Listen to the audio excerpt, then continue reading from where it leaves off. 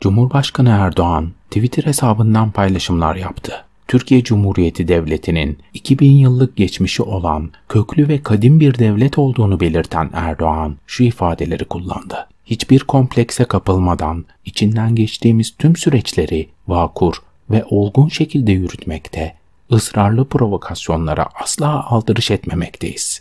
Biz samimi her çağrıya kulak vererek diplomasiye olabildiğince alan kazandırmak, sorunları diyalog yoluyla herkesin kazanabileceği bir çözüme kavuşturmak niyetindeyiz. Ülkemizin bir damla suyunu da, bir karış toprağını da bu vizyonla savunmayı sonuna kadar sürdüreceğiz. Videomuzu faydalı bulduysanız beğene tıklayabilirsiniz. Yorumlarınızı da bekliyorum. Teşekkür ederim.